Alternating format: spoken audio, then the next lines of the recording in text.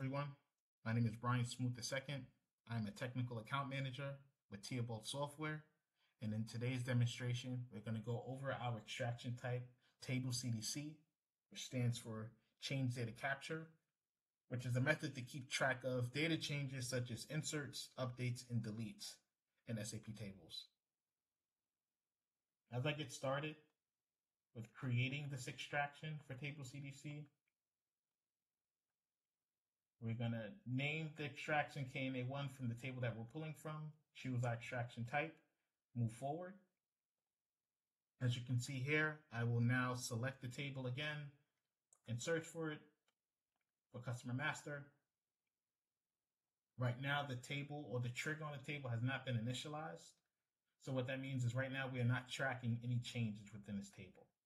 So I'm going to go ahead and do a run if I wanted to extract the table on the first run, the full table, I can check this here. I will leave it unselected just to move forward with this demonstration.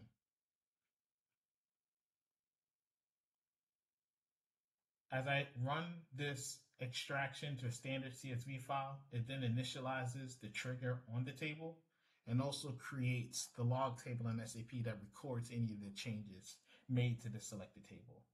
Right now, we have it successfully um, completed, I will then go to SAP to now implement a change. So now as I'm implementing this change, this table, specifically to this customer number 1003, which was once IDES Inc., I can change it to IDES Corp and save. And then I will add an additional customer change to this customer number 1001, which was once Sports Group Co. We can change to Sports United. We can save this as well.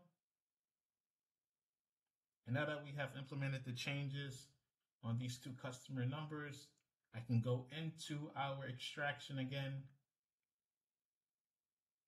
I can validate the fields that I want to bring in. Right now, all fields are selected.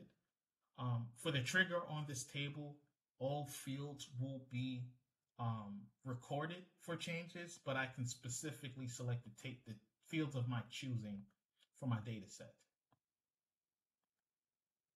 As you can see, the CDC info state is now initialized, meaning the trigger has been placed on this table.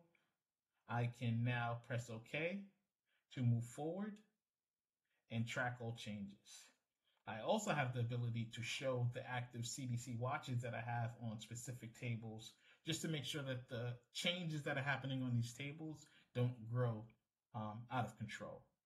Right now, I have one specific here that I created earlier today that I can delete.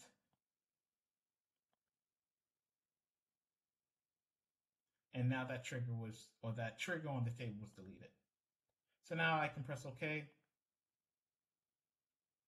run this extraction, and I should see two rows successfully extracted for the two updates that I made within that table. Here are the customer numbers. Here's the operation that we have at the very end for Theobald software operation, indicating if this was an update, insert, or delete. And there you have it, tracking changes in an SAP table using Table CDC.